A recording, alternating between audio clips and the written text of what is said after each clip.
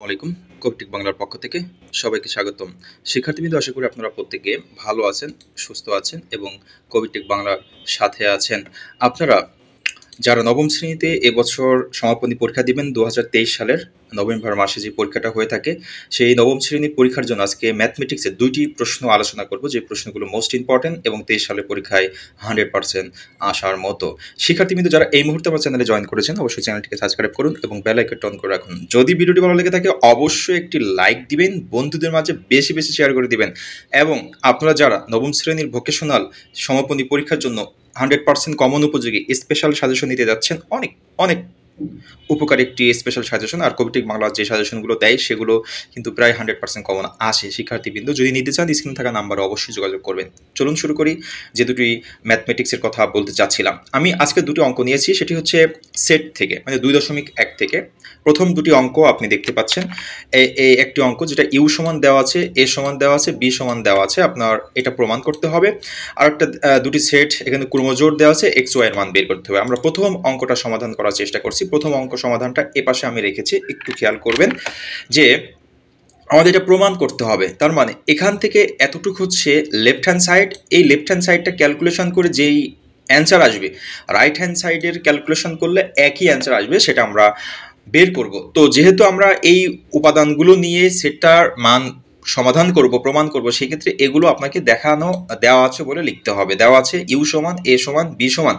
যেভাবে আছে ঠিক সেভাবে লিখে রাখবেন। এখন আমাদের প্রমাণ করতে হবে এটা এটা সমান এটা। আমরা কি করব দেখেন, এই যে লেফট হ্যান্ড সাইড একটা বিষয় চিন্তা করেন।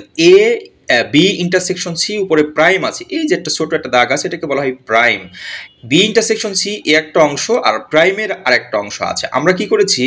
এই বি ইন্টারসেকশনটা শুধু আগে বের করে নিয়েছি। বি ইন্টারসেকশন সি মানে কি? প্রথমে আপনাকে বি এর মান বসাতে হবে, তারপরে এই ইন্টারসেকশন চিহ্নটা দিবেন সি এর মান বসাতে হবে। এখানে এই যে, এই প্রথম সেটটায় টু ফোর সিক্স আছে, এগুলোকে বলা হয় সেটের উপাদান, আর এ পাশে আছে three four five six seven এগুলোও কিন্তু সেটের উপাদান। এই দুটা সেটের ভিতরে যেই উপাদানগুলো মিল আছে, একই রকম আছে, সেটা হবে আমাদের নির্ণয় সেট।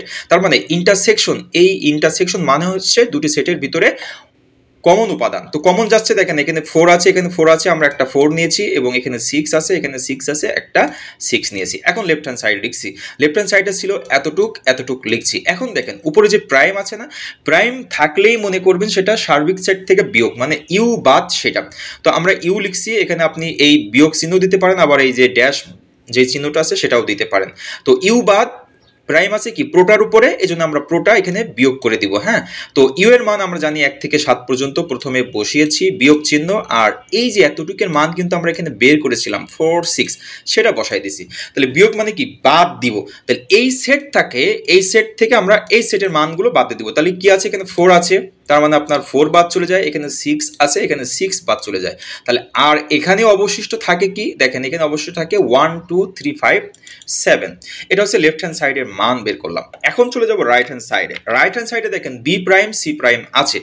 আবার মাঝখানে ইউনিয়ন আছে। তো আমরা বি প্রাইমটা আগে বের করে নিয়েছি। বি প্রাইম মানে ইউ বাদ বি প্রাইম মানে হচ্ছে ইউনিয়ন থেকে সেটা বিয়োগ। তো ইউ এর মান প্রথমে বসাবেন, বিয়োগ দিবেন, বিয়োগ চিহ্ন দিয়ে বি এর মান বসাবেন। তাহলে এই সেট থেকে আপনার বাদ যাচ্ছে টু ফোর সিক্স তাহলে অবশিষ্ট থাকতেছে এখানে ওয়ান থ্রি ফাইভ একই রকমভাবে এখানে সি প্রাইম আছে, আপনি সি প্রাইম মানে কি? ইউ বাদ সি ইউ এর মান বসাবেন, বাদ সি দিবেন। সি এর উপাদানগুলোকে বিয়োগ করলে থাকতেছে ওয়ান কমা টু এখন আপনি চলে যাবেন রাইট হ্যান্ড সাইডে রাইট হ্যান্ড সাইড কি ছিল? রাইট হ্যান্ড সাইড ছিল হচ্ছে B prime union C prime B প্রাইমের মান আপনি এটা বের করেছেন ইউনিয়ন সি প্রাইম মান বের করেছেন। এই ইউনিয়ন যে চিহ্ন, এই চিহ্নটার মান হচ্ছে মিল, অমিল সকল উপাদান।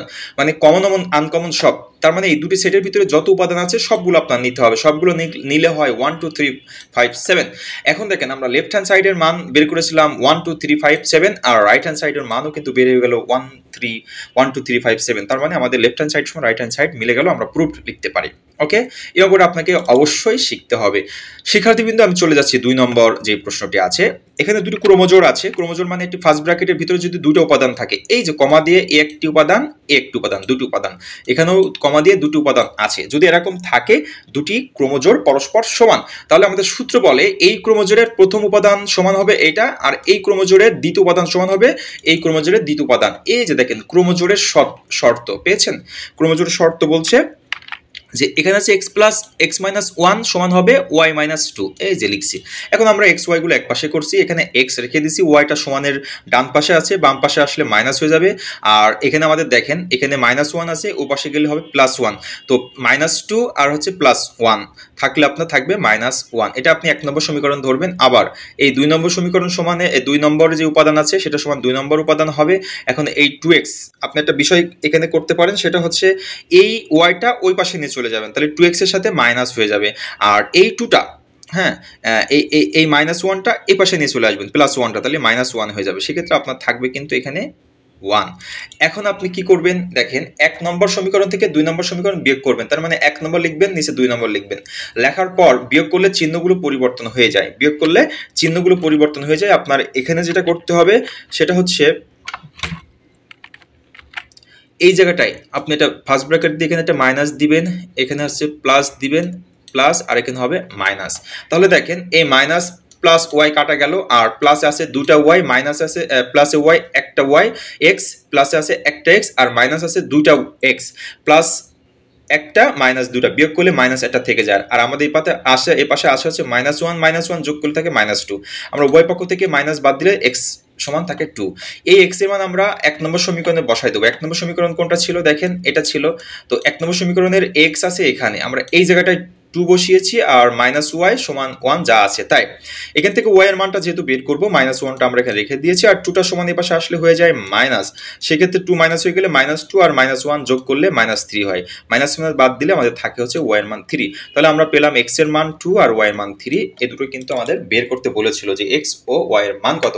সেক্ষেত্রে আমরা লিখতে পারি নির্ণেয় মান এক্স সমান হচ্ছে টু ওয়াই সমান থ্রি শিক্ষার্থীবৃন্দের দুটো অঙ্ক আপনাদের খুব ভালোভাবে শিখতে হবে। বাসায় কয়েকবার প্র্যাকটিস করবেন, দুই থেকে তিনবার লিখে আপনারা প্র্যাকটিস করবেন। এতক্ষণ সাথে যারা ছিলেন, সবাইকে ধন্যবাদ জানিয়ে শেষ করছি। সবাই ভালো থাকবেন, সুস্থ থাকবেন। আসসালামু আলাইকুম।